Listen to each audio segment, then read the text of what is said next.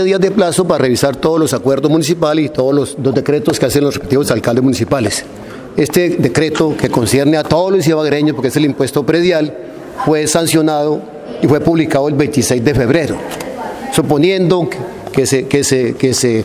radicó el proyecto de la gobernación, al día de hoy serían 14 días y no se ha tomado ninguna decisión. Llamo la atención porque de alguna manera este es el proyecto más, el acuerdo, el acuerdo más importante en la cual el Consejo de Ibagué se dio la pela y se dio la única movilización social y la unión de los medios radiales del Tolima en contra de esta situación que se presentó con los malos evaluados que hizo el GAT y toda esa historia de inconsistencias que se presentaron. Estamos esperando que el señor gobernador, de acuerdo a lo que sea, que sea, que sea jurídicamente eh, evidenciado, pues nos dé un par de tranquilidad a los ibaguereños que se va, se va a sancionar, este, se va a dar la, la, revisión y los ibaguereños tengamos la tranquilidad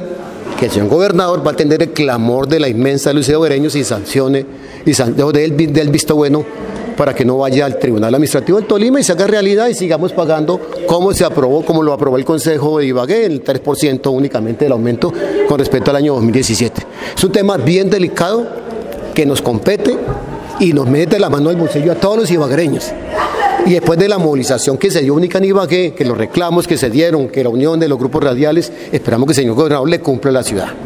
Pero ¿qué se ha ventilado al interior de la gobernación a pocos días de cumplirse el plazo? Al parecer ya se estaría pensando en una posible decisión. Pues van 14 días mal contados, 14, 13 días, y los 20 días nos van a dar el día en la primera semana de abril, 2 o 3 de abril.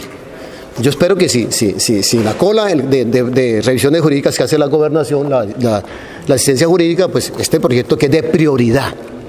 que es que, es que lo esperamos todos los, los pues tenga alguna prelación en la revisión jurídica.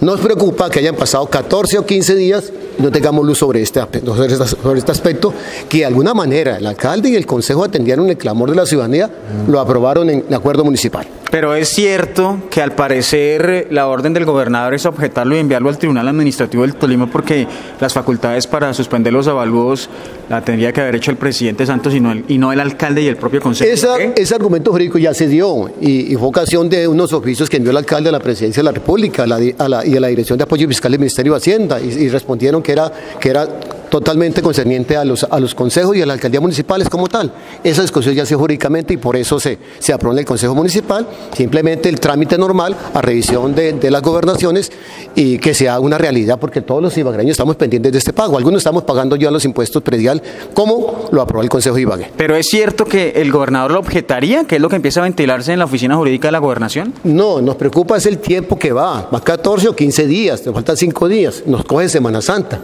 Pero es decir, yo quiero llamar la atención de los ibaguereños que estamos expectantes de esta situación, porque ya, ya se dirimó la parte jurídica, ya hubo las consultas necesarias y ya se aprobó por acuerdo municipal. Creemos que el gobernador no le puede fallar a la ciudad.